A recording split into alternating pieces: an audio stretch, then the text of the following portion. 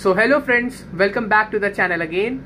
So as there were many comments in different videos for making the book bookshelf tour and I was really looking for a moment to make and since I got time these days because I am also having my Diwali holidays and since the device Diwali Safai is going on throughout the house it was a good opportunity uh, not only just cleaning the books but also uh, making a bookshelf tour video.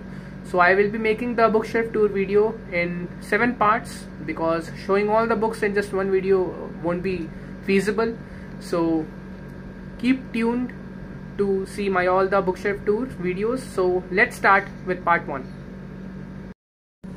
So the first book is here. That is Factfulness by Hans Rosling and with Ola Rosling and Anna Rosling which is actually a family so the book is also recommended by our former uh, president of United States that is Barack Obama and also recommended by Bill Gates and her former wife Melinda Gates. I have made a detailed review on this book which shows how there are actually 10 reasons that we are wrong about the world and things are actually getting better in the in the whole world how the energy consumption is actually increasing people are tend to live longer these days compared to the ancient times how education level is better how average life expectancy is also going going towards the positive sides. So it's an amazing book which tells you about whole story of the world till 2019 because covid definitely has disrupted the graphs shown in the book. But an amazing read which you must definitely give it a try. I have made a separate video on this book. Do check it out. So the second book is here that is stephen hawking's brief answers to big question so it's an amazing book. I think i haven't i haven't made a separate video on the book but the book is actually the last book by stephen hawking. And actually he died while writing the book only. So it's an incomplete book which is later completed by his family and the trust of george john murray who actually published the book jm company in association with hachette so this book actually gives the answer to these questions which is written. Is there a god? How did it world begin? Can we predict the future? What's inside black hole? And so many you know different amazing questions. So stephen hawking gives answers to these books. Of course our dedicated chapters are there but also the answers to the question are given in a very concise way for example here.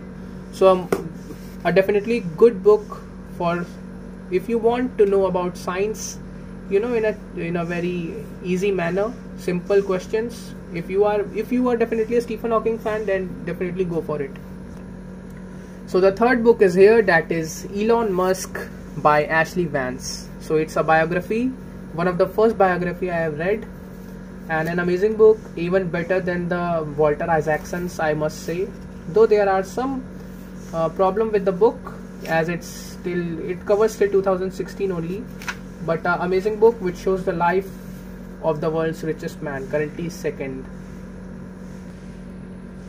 so the fourth book is here that is Wings of Fire by APJ Abdul Kalam. So it's a autobiography actually written by late APJ Abdul Kalam, Missile Man of India.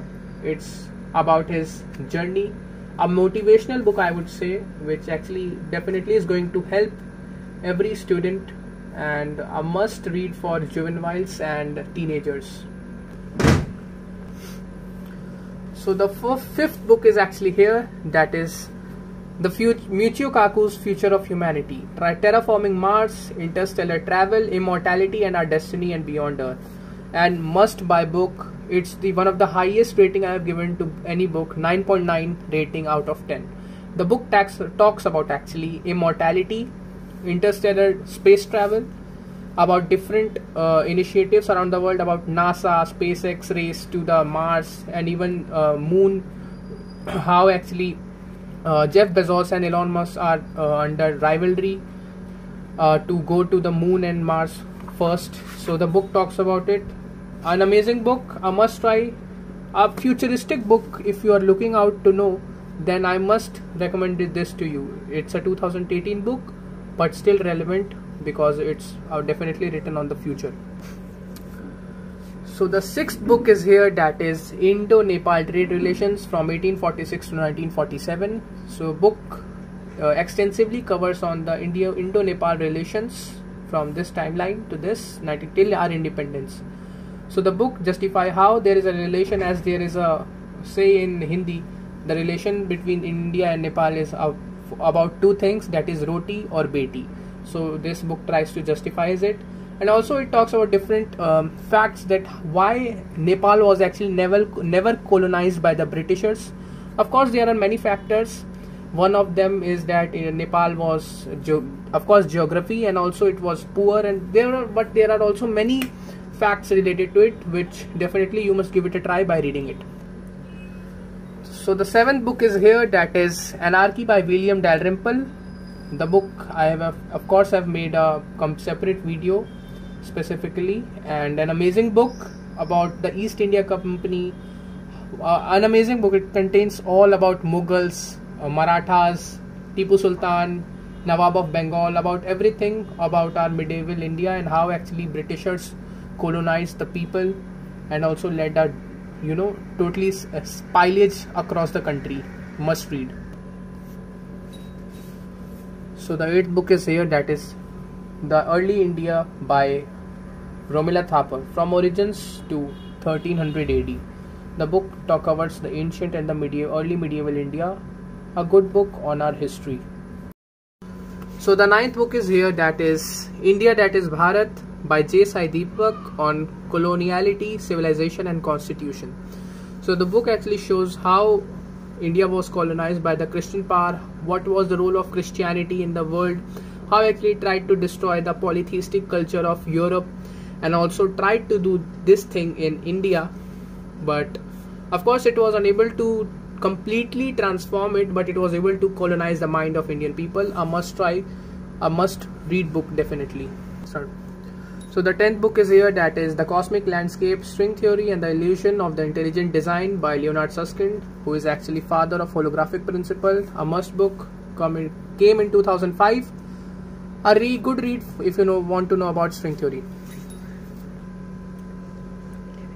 So the 11th book is here that is The Physics of the Future by Michio Kaku, the inventions that will transform our lives. The book talks about, of course, it's a futuristic book, and for those who don't know Michio Kaku, he's actually popularizer of science and cosmology.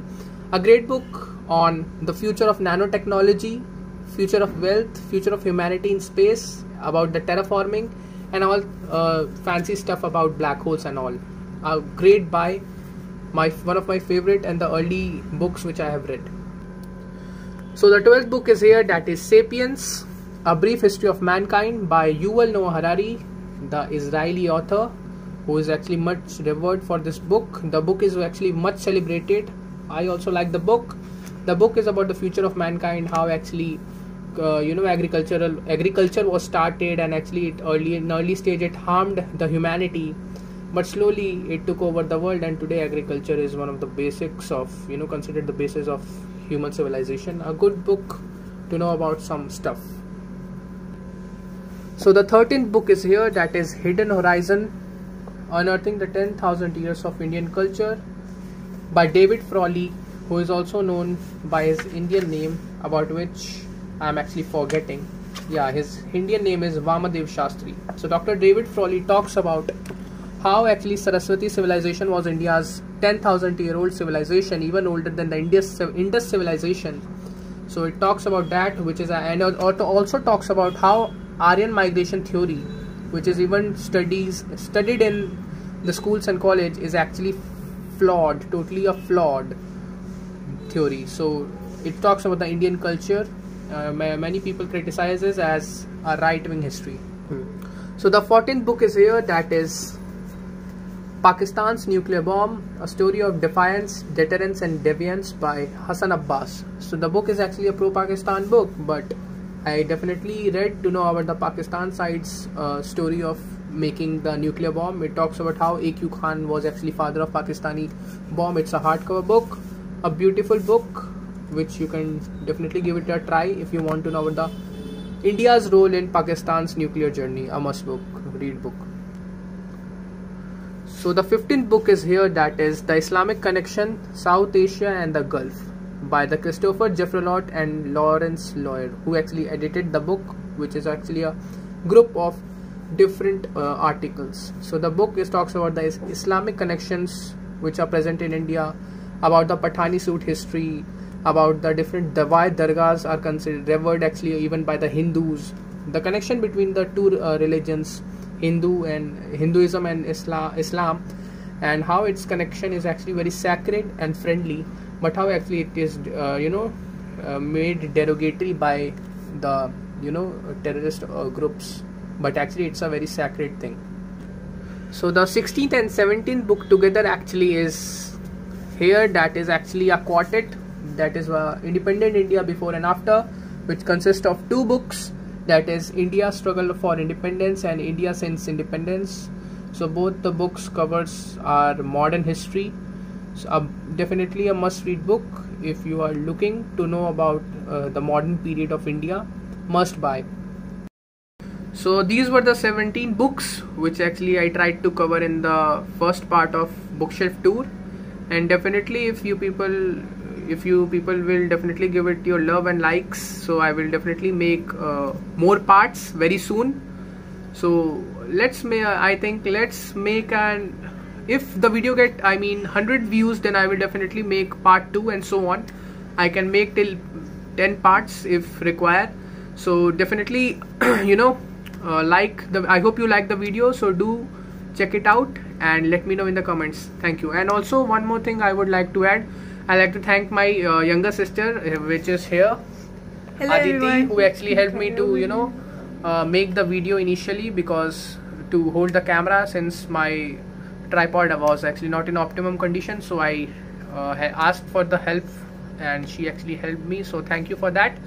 So as I told do check it the do check the video and if you like then let me know in the comments